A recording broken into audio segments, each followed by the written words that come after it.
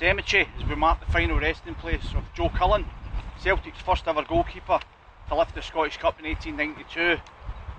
We welcome today's speakers Lisbon Lions, Jim Craig, John Fallon, we've also got Charlie Gallagher here today as well. These men epitomise everything Celtic is about and the club as well as the support owe these men and all the Lions a huge debt of gratitude for what they've achieved at Celtic. Some applause for.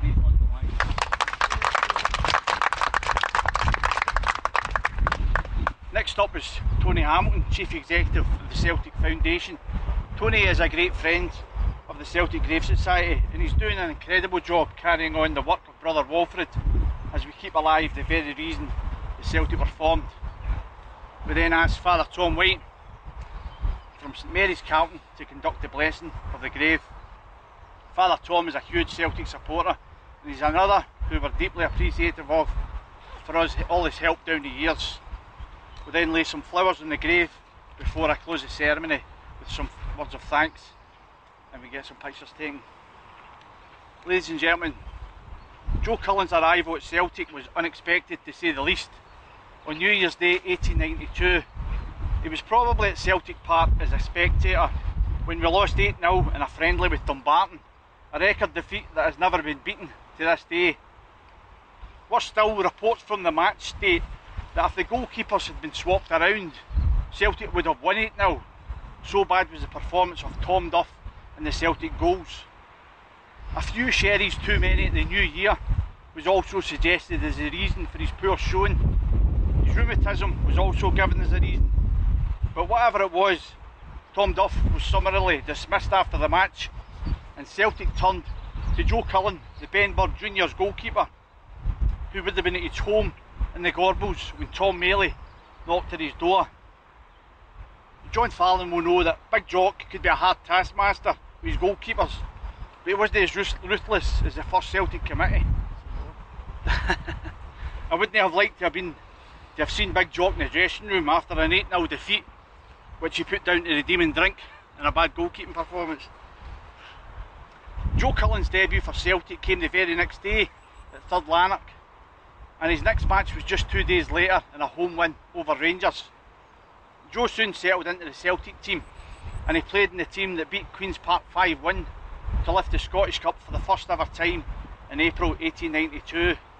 He played in the Charity Cup final win over Rangers, the last competitive match at the first Celtic Park as we won the treble for the first time, just months after joining from the juniors. Joe Cullen would have had a great relationship with brother Walfrid, as Joe's parents were from Leitrim, just 40 miles from Ballymote. And Joe's family took the same boat from Sligo Harbour to the Broomielaw in 1862 that brother Walfrid would have taken in 1855 to his new home in Glasgow. By the end of his first season at Celtic Park, Joe Cullen was singled out for praise at the Celtic AGM for being elevated to the Celtic first team and also in not being elevated after surviving an explosion at his workplace at Higginbotham's Mill which killed three employees. You can just imagine the press for a Celtic employee making a remark like that at an AGM. Joe soon learned to stand up for himself in the Celtic goal. He soon learned how to swear by the best of them, and when Dan Doyle would berate him every time a goal was lost. Joe was in fact a much loved character who was the life and soul of the Celtic party, with a high pitched laugh that would reverberate around the dressing room. In his next two seasons, he played 35 of our 36 league matches, the most of any player as we won the league title for two seasons in a row. Joe also won his second Charity Cup Winners' Medal in 1893 with another win over Rangers in the final, this time with the Celts 5 0 up by half time and no more goals were scored. By the end of the 93 94 season, Joe was replaced by Dan McArthur, but Joe fought for his place for the next three years before he moved to Spurs and enjoyed a run to the quarter-finals of the FA Cup in 1899. After two seasons at Spurs, He played for Lincoln for one more year before retiring at the age of 32. Tragically, Joe died just five years later from pneumonia after watching the Celtics train, Celtic players train just days before. The same Celtic players wore black armbands at the end of that week after his death, and many of the Celtic board and Celtic players turned out for his funeral. Sadly, his mother died just two days later, and she is buried alongside the son who she was so proud of, Joe Cullen, Celtic's first goalkeeper. He left the Scottish Cup. Thank you. Please welcome first speaker. Reverend Father, ladies and gentlemen, no ladies, gentlemen, alright, okay, some of you look like, no, maybe not. I have a personal ambition to discover that an ex-Celtic player was buried on the equator somewhere along the line. because every day we turn up is a day like this, right? And I've deliberately left my umbrella at home because the last twice I brought it, it's blown inside out twice and it's now been consigned to the bin. That particular week when Joe Cullen signed, or just that new year, was a very uh, interesting one for Glasgow because Buffalo Bill's Welware Circus was in town and they had arrived in the East End at one of the stations there and the steers that they had with them had run down the Gallowgate before they were corralled in Duke Street. Annie Oakley was with them with a rifle and uh, Major John Burke of uh, the circus kicked off the game against uh, Dumbarton. So Joe joined us at that time. It was a tough time to be a goalkeeper. Not only did you not have a yellow jersey because that didn't come in until about 1910, you just wore the same strip as anybody else It's only a cap to designate you being a bit different from the rest of the players. It was a tough time because the keepers could be charged and uh, literally assaulted during the course of doing their work. Now the penalty kick had come in in 1891, the year before, but you were only given a penalty for literally handball and serious assault, and keepers had to put up with a great deal. Even a few years later, I can give you an idea of what it was like because this, in 1887, just after Joe had played, this directive was put up by the SFA in every dressing room in Scotland. Rough, rough play is specified in Rule 10 is tripping, ducking, hacking, jumping at a player, pushing and charging from behind.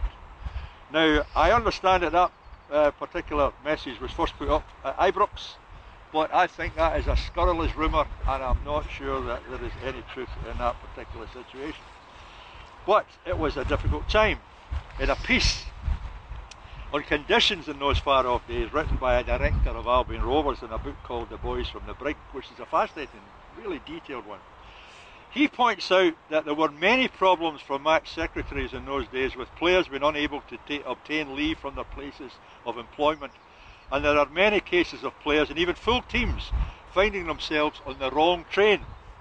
There are also many episodes related in the popular press of teams taking one train while they're hampered with all the playing gear ended up in another train going the opposite direction.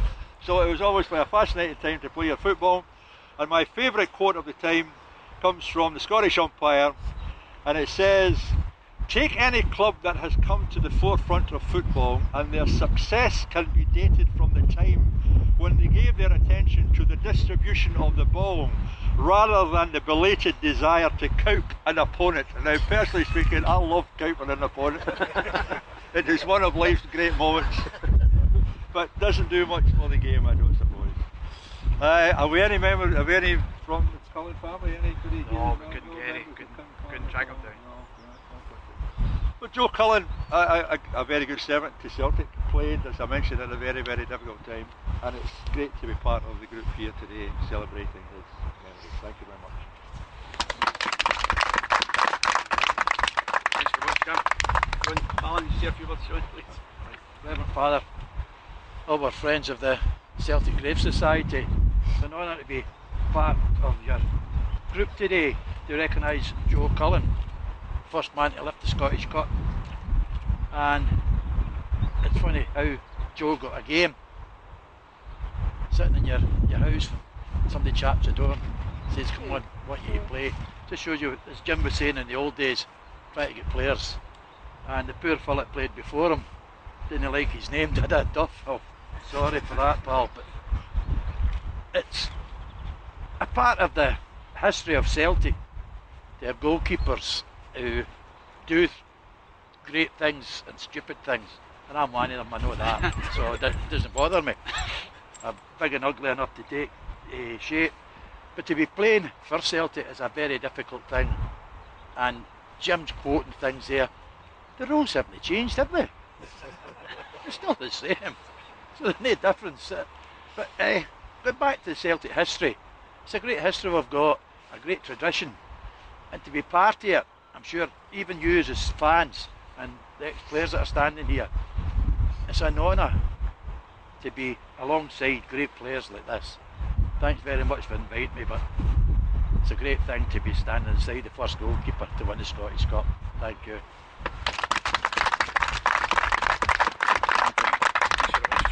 John, is it true that you were swinging in the crossbar at the end of the 65 Scottish I tried Cup to get round here a somersault, but the net caught me. First time the net caught anything. Thanks very much. Tony. Thanks, thanks Brendan. Thank you and good afternoon.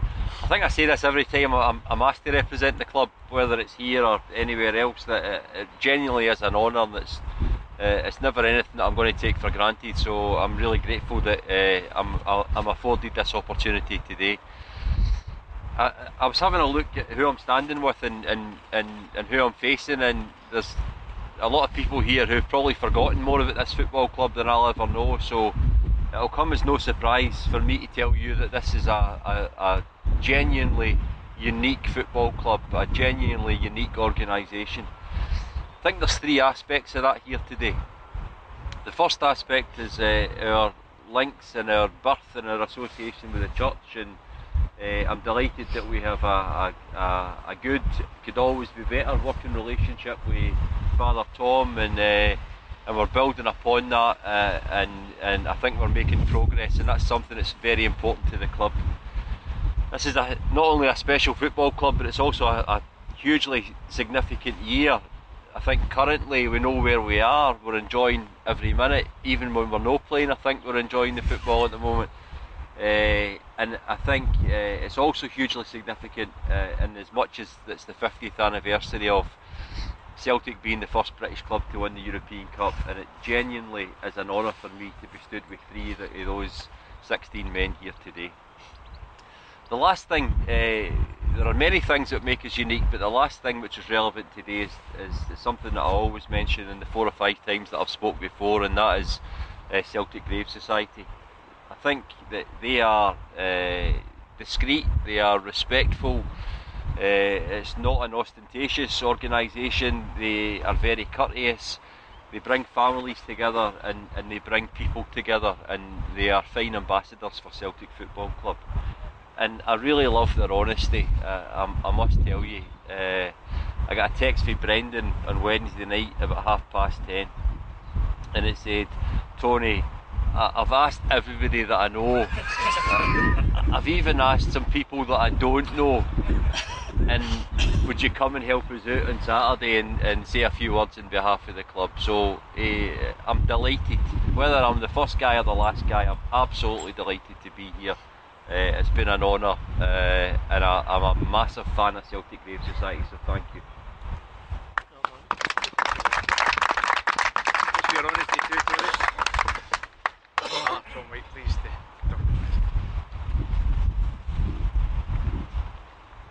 Good afternoon. Um, one thing myself and Tony always talk about is how the Celtic Grave Society events always wreak havoc with our hair. So delighted to be here um, like all the rest. Um, one thing over here was Jim asking Brendan is any Cullen family here, and perhaps the fact that we couldn't trace any strikes again at the heart of what this movement is about. It's about the, that wider family, the Celtic family, which spans the generations and goes beyond football and embraces both charity and faith, and then the wider family of faith when Joe was laid here to rest, he'd have his family around him. He'd had generations and siblings mourning his passing. And we're privileged some 115 years or so later to be gathered round the same resting place. gathering with the same spirit of hope and faith in the resurrection. So we gather here again to mark the resting place of our brother Joseph, to express our common faith and love for his Son, our Lord Jesus Christ. For Jesus says, This is the Lord's will, that I should lose nothing of all that he's given to me, and that I should raise it up in the last day. The response is Blessed is the Lord our God. Blessed is the Lord our Lord God. our God. Lord of all creation, praise to you, holy and living God. Blessed is the Lord our God. You sanctify the homes of the living, you make holy the places of the dead. Blessed is the Lord our God. We praise you, our refuge and strength. We bless you, our God and Redeemer. Blessed is the Lord our God. Almighty and ever living God, remember the mercy with which you graced your servant Joseph in life. May he be received into the mansions of the saints, and together with all who have gone before us in faith, may he find that resting place where God is all in all. We ask this through Christ our Lord. Eternal rest grant unto him, O Lord, And let perpetual light shine upon him. May he rest in peace. May his soul and the souls of all the faithful departed, through the mercy of God, rest in peace. Bless, O Lord, this grave anew, send your holy angel to watch over it, as we remember the body of our brother Joseph, who rests in the sleep and hope of peace. We ask this through Christ our Lord. It would be a wee bit selfish if it's not while we're talking to the good Lord above to not ask his blessing in us and actually those near to us. The Lord be with you. May the blessing of Almighty God, Father, the Son, and the Holy Spirit come down upon you and those dear to you and remain with you forever. Father, Son, and Holy Spirit. Amen. If anyone would like to lay some flowers at the grave. Okay. Aye. Then I didn't know that it was another Aye. Aye. because I've just traced my grand, great great grandfather away back to Kiva Day. I mean, I knew he came from Slimer, my grandfather and all that.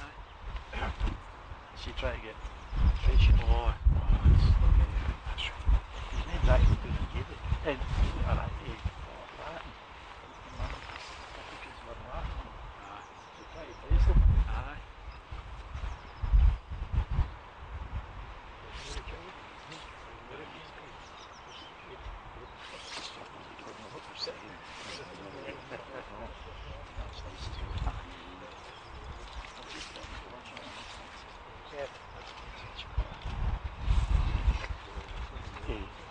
In closing, I'd just like to thank everyone for attending and remembering Joe Cullen today.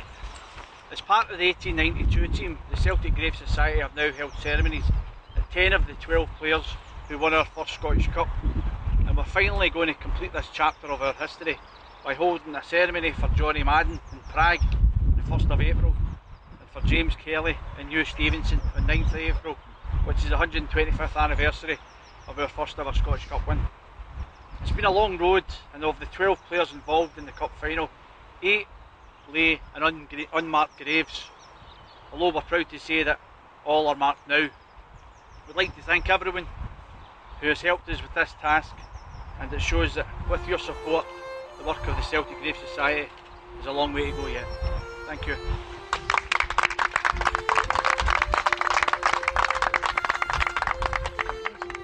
From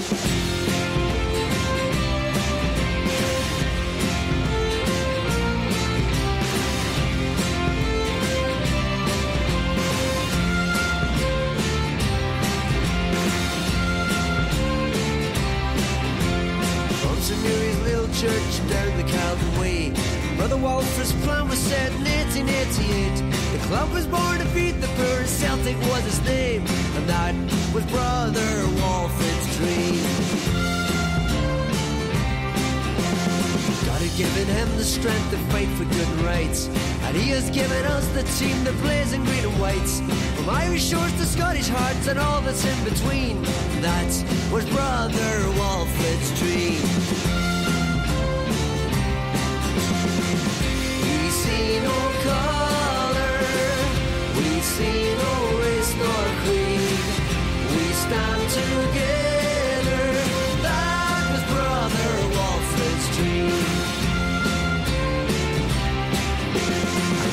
looking down on us and smiles at what he sees.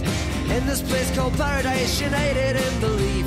Through the wind and through the rain and throughout history, we won't forget our brother's dream.